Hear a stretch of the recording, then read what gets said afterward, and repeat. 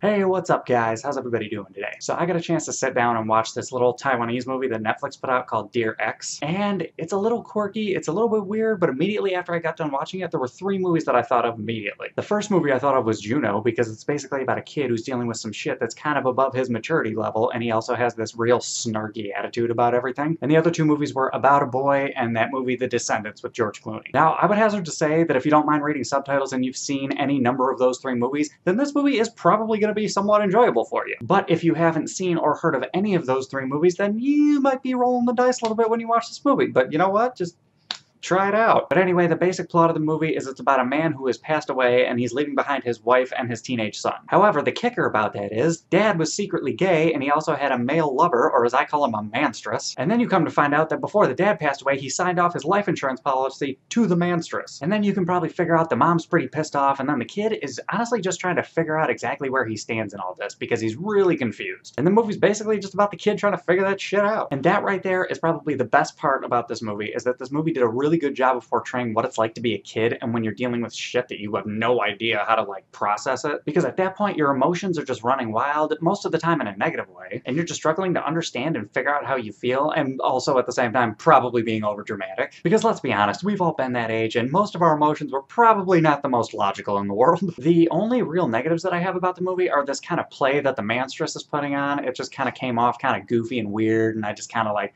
I don't know, it just wasn't my thing really. And also, I'm I'm not sure if it's a bad thing, but there's one part of the ending that I just really, I don't think I was a fan of. There was a moment about 10 minutes before the movie ended that I thought was probably the most important part of the movie, and that was great, but then the very, very last part, I did, I don't know. I, just, I don't know if it makes sense or not. And also, not often, but like once or twice, I thought the pacing got a little goofy and I just felt a little bored. But usually when that happened, it picked up pretty quick immediately after. But yeah, besides all that, uh, this is actually kind of a nice little movie. Because like I said, the kid is super snarky, and comedy is a little bit of a nuanced thing that sometimes you need to speak the language in order to understand when something's funny. But some of the time, just the dialogue alone that the kid had was funny. Because like, this is the kind of shit that I would say when I was his age, you know? I don't know if that makes me a snarky asshole, but yeah, is what it is. And the movie also did a really good job of getting you to give a shit about the man stress. Because at the beginning, he just feels like this giant asshole that's trying to break up a family, but after a while, you realize, nah, there's more to this guy than that. And I found myself rather curious as about what was going to happen next with the guy. And I thought the movie had a really, really cool structure because it was told linearly, but it also had a lot of flashbacks to explain certain little things. But it didn't dwell on the flashbacks too long, and it was the appropriate amount of explanation and exposition that you needed as a viewer to continue with the movie. So yeah, all in all, very enjoyable. The subtitles move a little bit fast every once in a while, but yeah, based on everything I've said, I think for a score out of 10, I think I'm gonna give it an 8.2. I was pleasantly surprised. I did not expect to have as good of a time as I did, and depending on who's watching this movie might hit you in the feels at some point. Who knows? But anyway, guys, those are my thoughts. What are your thoughts? Have you seen this movie? Have you heard of it? Hop in the comments. Let me know what's up. Other than that, if you like this review, give me a like, subscribe, all that other bullshit that makes the channel look good, and I'll catch you guys later.